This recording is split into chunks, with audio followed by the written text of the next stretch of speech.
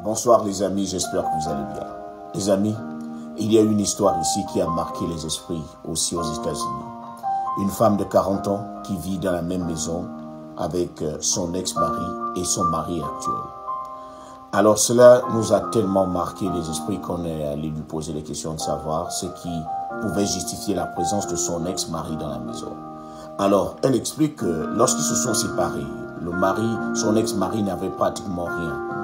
Donc, lorsqu'il était parti, elle a remarqué que le, gars venait tous les jours pour promener encore leurs chiens qu'ils avaient en commun. Et vous connaissez ces gens-là qui prennent les chiens comme des enfants. Alors, la femme, soucieuse de, de la santé et de l'avenir de son ex-mari, lui demanda de revenir dans la maison et pour y vivre pendant un an sans payer le loyer.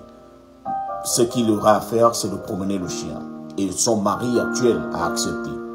Alors lorsque le chien est décédé, la femme a joué son rôle. Elle a demandé au mari, alors son ex-mari de partir de la maison parce qu'il n'avait plus de raison de rester. Son ex-mari est parti. Mais lorsqu'il est parti, au lieu de partir dans un autre quartier, il est venu rester dans l'appartement qui est juste en face de la maison de la femme. Et la, et la femme en question, elle sait que cette maison est habitée par des gangsters, par, des chanvres. Alors, soucieux de l'avenir et de la santé de son ex-mari, elle demanda la permission à son mari si elle pouvait faire, refaire, si elle pouvait encore faire venir son ex-mari dans la même maison en attendant euh, qu'il reprenne ses esprits ou bien qu'il se refasse une santé financière. Ce qui fut fait. Mais quatre ans se sont écoulés. Le mari actuel se plaint et est décidé de, de, demander le divorce parce qu'il ne se retrouve plus. Il a l'impression que euh, sa femme dorlote trop son ex-mari. Peut-être que sa femme a plus d'amour pour son ex-mari que le mari.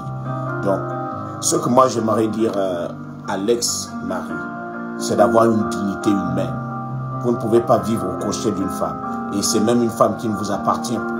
Si vous étiez réellement un homme, vous, n'auriez pas accepté de vous séparer de cette femme.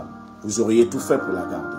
Et à la femme, parfois lorsqu'on veut aider, les personnes qu'on veut aider finissent par nous, à venir nous, à, rester dans la gorge ici et à nous, à nous mettre dans un problème terrible.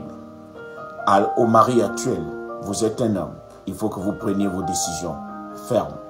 Il faudrait que cet homme que vous dorlotez tant prenne la porte. Il ne va pas mourir.